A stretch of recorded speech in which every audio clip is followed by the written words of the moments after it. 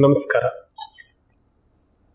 ನವೋದಯ ಮತ್ತು ನವ್ಯ ಸಾಹಿತ್ಯ ಸಂದರ್ಭಗಳಲ್ಲಿ ಕವನಗಳನ್ನು ರಚಿಸ್ತಾ ಇದ್ದಂಥ ಕನ್ನಡದ ಮಹತ್ವದ ಕವಿಗಳಲ್ಲಿ ಓರೋರಾಗಿದ್ದಂಥ ಕೆ ಎಸ್ ನರಸಿಂಹ ಸ್ವಾಮಿಗಳು ಅವರು ಬರೆದಿರುವಂಥ ಕಾವೇರಿ ಸ್ನಾನ ಎನ್ನುವ ಒಂದು ಕವಿತೆಯ ಕುರಿತು ನನ್ನ ಕೆಲವು ಚಿಂತನೆಗಳನ್ನು ಇಲ್ಲಿ ಹಂಚಿಕೊಳ್ಳಕ್ಕಿದ್ದೇನೆ ಇಂದಿನ ಈ ಉಪನ್ಯಾಸದಲ್ಲಿ. ಮೊದಲನೇದಾಗಿ ಕೆ ಎಸ್ ನರಸಿಂಹಸ್ವಾಮಿಗಳ ಬಗ್ಗೆ ಕೆಲವು ವಿಚಾರಗಳನ್ನು ತಿಳ್ಕೊಳ್ಳೋಣ.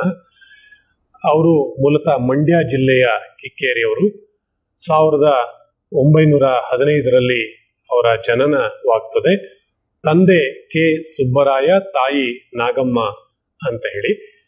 ಅವರು ತುಂಬ ಬಡ ಕುಟುಂಬದಲ್ಲಿ ಹುಟ್ಟಿದಂಥವರು. ತಂದೆ ಕೂಡ ಗುಮಾಸ್ತರಾಗಿದ್ದರು ಹಾಗೆಯೇ ಇವರು ಕೂಡ ಮುಂದೆ, ಅದೇ ವೃತ್ತಿಯಲ್ಲಿ ಮುಂದೆ ಹೋಗ್ತಾರೆ. ಗುಮಾಸ್ತರಾಗಿ ಜೀವನ ನಿರ್ವಹಣೆಯನ್ನು ಮಾಡ್ಕೊಂಡು ಬಂದಂಥವರು.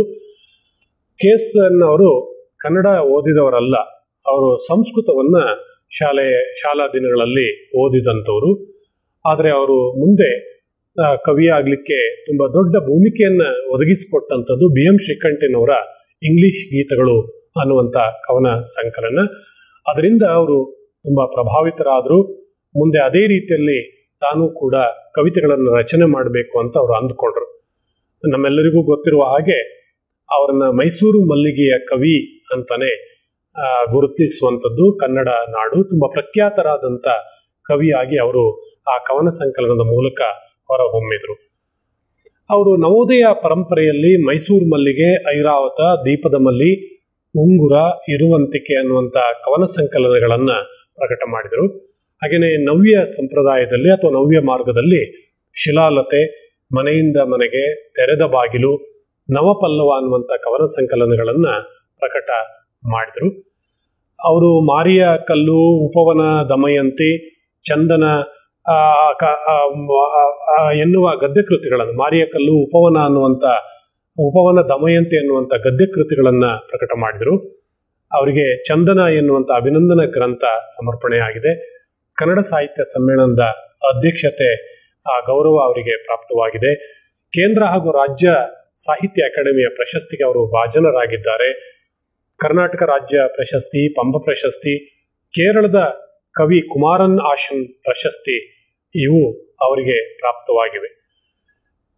ಈಗ ನಾನು ಮುಂದಿನ ಭಾಗದಲ್ಲಿ ಅವರ ಒಂದು ಉತ್ತಮ ಕವಿತೆ ಕಾವೇರಿ ಸ್ನಾನ ಅನ್ನುವಂಥದ್ದು. ಅದರ ಕುರಿತಾದ ಕೆಲವು ವಿಚಾರಗಳು. ಕವನದ ಸಾರ ಹೀಗಿದೆ. ನಿರೂಪಕ ಮತ್ತು ರಾಮಯ್ಯ, ಅಂದರೆ ಕವನದ ನಿರೂಪಕ ಕವಿ, ಅವನು ಮತ್ತೆ ಅವರ ಗೆಳೆಯ ರಾಮಯ್ಯ, ಒಮ್ಮೆ ಮಡಿಕೇರಿ ಭಾಗಮಂಡಲದ ಸಮೀಪದಲ್ಲಿ ಕಾವೇರಿ ನದಿಯಲ್ಲಿ ಸ್ನಾನ ಮಾಡಲಿಕ್ಕೆ ಅಂತ ಹೇಳಿ ಹೋಗಿರ್ತಾರೆ. ಇಬ್ಬರಿಗೂ ನದಿ ಸ್ನಾನ ಅಂತ ಹೇಳಿದ್ರೆ ಭಯ. ಆ ಒಂದು ಘಟನೆಯನ್ನ ನವಿರಾದ ಹಾಸ್ಯದ ಮೂಲಕ ಈ ಕವನದಲ್ಲಿ ಕವಿ ಪ್ರತಿಪಾದಿಸಿದ್ದಾನೆ. ಅಲ್ಲಿ ಏನಾಗುತ್ತೆ, ಅವರಿಬ್ರು ಸ್ನಾನಕ್ಕೆ ಅಂತ ಹೋಗಿರ್ತಾರೆ. ಆದರೆ ನದಿಯ ನೀರು ತುಂಬ ತಣ್ಣಗಿರ್ತದೆ ಚಳಿ, ಕೊರೆಯುವಂತ ಚಳಿ. ಆ ಸಂದರ್ಭದಲ್ಲಿ ಅವರಿಗೆ, ಆ, ನದಿಯಲ್ಲಿ ಸ್ನಾನ ಮಾಡಲಿಕ್ಕೆ ನದಿ ನೀರು ತಣ್ಣಗಿದೆ ಮತ್ತು ಆ ಪ್ರವಾಹದ ಭಯ ಬೇರೆ. ಹಾಗಾಗಿ ಅವರಿಬ್ರು ದಡದಲ್ಲಿ ಕುತ್ಕೊಂಡಿರ್ತಾರೆ. ಆ ಸಂದರ್ಭದಲ್ಲಿ ಏನಾಗುತ್ತೆ ಅಂತಂದ್ರೆ, ಸ್ನಾನ ಮಾಡದೆ ಅವರಿಬ್ರು ದಡದಲ್ಲೇ ಕುತ್ಕೊಂಡು ಕಾಲ ಕಳೀತಾ ಇರುವಂತಹ ಸಂದರ್ಭದಲ್ಲಿ ಅಲ್ಲಿಗೆ ತಮಿಳು ದಂಪತಿ ಇಬ್ರು ಎರಡು ಜನ ಗಂಡ ಹೆಂಡತಿ ಹೊಸದಾಗಿ ಮದುವೆ ಆದಂತ ಪ್ರೇಮಿಗಳು ಅಲ್ಲಿಗೆ ಆಗಮಿಸ್ತಾರೆ. ಅವರಿಬ್ರು ಬರ್ತಾರೆ. ಇವರು ನೋಡ್ತಾ ಇದ್ದಾರೆ ಅವರ ಅವರ, ಅವ್ರನ್ನ ನೋಡ್ತಾ ಇದ್ದಾರೆ ದೂರದಲ್ಲಿ. ಆಕೆ ಕ್ಷಣ ಮಾತ್ರದಲ್ಲಿ ನದಿಗೆ ಈಜ್ಲಿಕ್ಕೆ ತೆರಳುತ್ತಾಳೆ. ಆಕೆಯ ಜೊತೆಯಲ್ಲಿ ಬಂದಂತ ಪ್ರಿಯತಮ, ಆಕೆಯ ಗಂಡ ನದಿಗೆ ಸ್ನಾನ ಮಾಡಲಿಕ್ಕೆ ಅಂತ ಹೋಗೋದಿಲ್ಲ ಅವನು, ದಡದಲ್ಲೇ ಕೂತ್ಕೊಂಡಿರ್ತಾನೆ. ಆದರೆ ಆಕೆ ಮಾತ್ರ ತಲೆ ಕೂದಲನ್ನ ಕಟ್ಟಿ ಸಿದ್ಧಳಾಗಿ ಅವಳು ನದಿಗೆ ಹಾರ್ತಾಳೆ, ಸ್ನಾನ ಮಾಡಲಿಕ್ಕೆ ಅಂತ ನದಿಯ ನೀರಿಗೆ ಹಾರ್ತಾಳೆ. ಈ ದೃಶ್ಯವನ್ನ ಇಲ್ಲಿ ನಿರೂಪಕ ಮತ್ತು ಇವರ ಗೆಳೆಯ ರಾಮಯ್ಯ ಇಬ್ರು ನಿಂತ್ಕೊಂಡು ದಡದಲ್ಲಿ ಕೂತ್ಕೊಂಡು ನೋಡ್ತಾ ಇರ್ತಾರೆ. ಆ ಒಂದು ಸಂದರ್ಭವನ್ನ ಸುಂದರವಾದ ಕವಿತೆ ನಿರೂಪಿಸುವಂಥದ್ದು. ಬಹುಶಃ ಅದನ್ನ ಕೆಲವು ಸಾಲುಗಳನ್ನು ನಾವಿಲ್ಲಿ ಗಮನಿಸಬಹುದು ಅಂತ.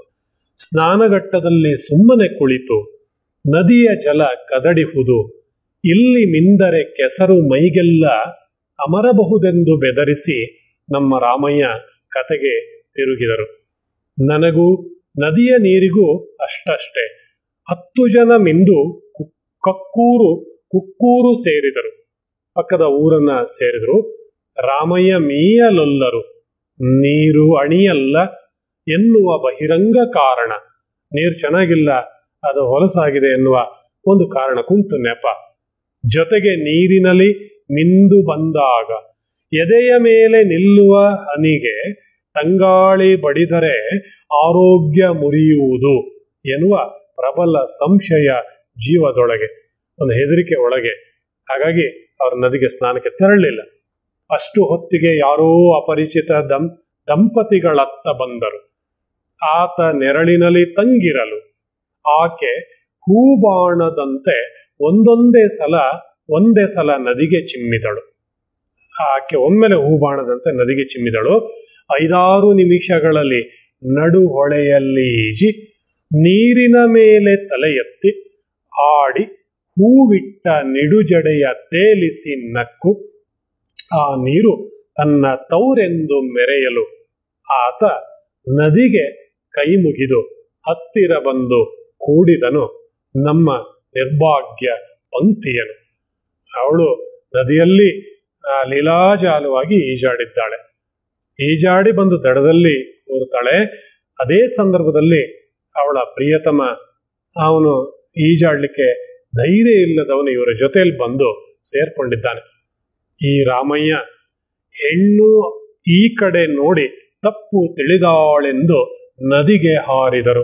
ನೋಡಿ ಹಾಸ್ಯದ, ಆ, ಸುಂದರವಾದ ಪ್ರಸಂಗ ಹೇಗೆ ಬರ್ತಾ ಇದೆ ಕವನದ ತಿಳಿ ಹಾಸ್ಯದಲ್ಲಿ ಸ್ನಾನಕ್ಕೆ ಕಟ್ಟಿದ ಲಗ್ನ ಒದಗಿ ತೆಂದು ಇಳಿದೆ ನಾನು ಜೊತೆಗೆ, ಯತ್ನವಿಲ್ಲದೆ ಬಂದು, ಮಿಂದು ಬಂದೆವು ನಾವು ನಿರಪರಾಧಿಗಳಂತೆ. ಅಶ್ವಿನಿ ದೇವತೆಗಳಂತೆ ಒಲ್ಲದ ನೀರು ಒಲಿದಿತ್ತು ನಮ್ಮ ಸೇವೆಗೆ.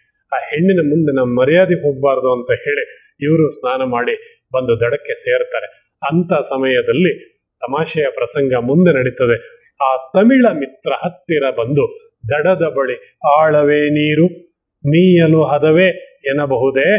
ಹಿಗ್ಗಿದೆವು ನಾವು, ಗೆದ್ದೆವು ನಾವು, ರಾಮಯ್ಯ ಒಲ್ಲಿಯನ್ನು ತಲೆಗೆ ಸುತ್ತಿದರು ಬಾವುಟದಂತೆ ನಸುನಕ್ಕು ನಾನು ಆತನಿಗೆ ಅಭಯ ನೀಡಿ, ನೀರಲ್ಲ, ಈ ಹೊಳೆಯ ತುಂಬೆಲ್ಲ ಎಳನೀರುಪ್ಪ, ಈ ಹೊಳೆಯ ತುಂಬೆಲ್ಲ ಎಳನೀರು ಎಂದು ಅಕ್ಕರೆಯಿಂದ ನುಡಿದು, ಅಂಚಿಗೆ ಮೂರು ಮಾರಿನ ಸುಮಾರಿನಲ್ಲಿ ನೀರಿನಲ್ಲಿ ನಿಲ್ಲಿಸಿದೆನು.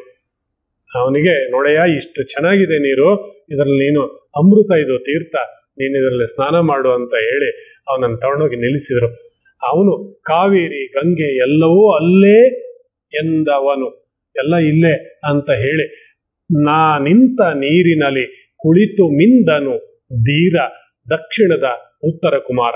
ಅವನು ಎಲ್ಲಿ ನಿಂತಿದ್ನೋ ಅದೇ ನೀರಿನಲ್ಲಿ ಅಲ್ಲೇ ನಿಂತು ಕಾಲು ಗಂಟು ಮುಳುಗುವಷ್ಟು ಇರುವ ನೀರು ಅಲ್ಲಿ ನಿಂತ್ಕೊಂಡು ಆ ನೀರನ್ನ ತಲೆ ಮೇಲೆ ಹಾಕ್ಕೊಂಡು, ಆ, ತೀರ್ಥಕ್ಕೆ ಸ್ನಾನ ಮಾಡ್ತಾನೆ.